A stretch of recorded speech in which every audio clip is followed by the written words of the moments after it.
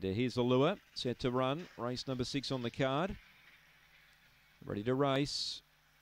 Racing, Bellavine jumped pretty well here. Looks like she'll have enough speed to lead. Yet that's the case. Now round the outside, Emily Giggler's nice and close. Uh, third, Polished Jewel, then Cash Producer, then Ivy Muriel, well back Vegas Deccan and Triple Crown Bev.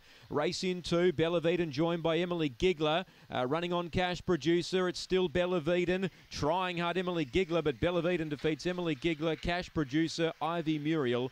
Uh, then Polished Jewel. Next in was uh, Vegas Deccan. And Triple Crown Bev was last home, the time around 22.50. Bellaviden wins again. Makes it two in a row now. She's been going well. And she makes it uh, two in a row now for Lester Harris. So number three, the winner, five second Emily Giggler had his uh, had her chance there, and two cash producer runs third, seven fourth Ivy Muriel. Three, five, two, and seven. 22.46 the run. Length and a half by two. Three Bellaviden. 22.46. Just better than her previous best of 22.47.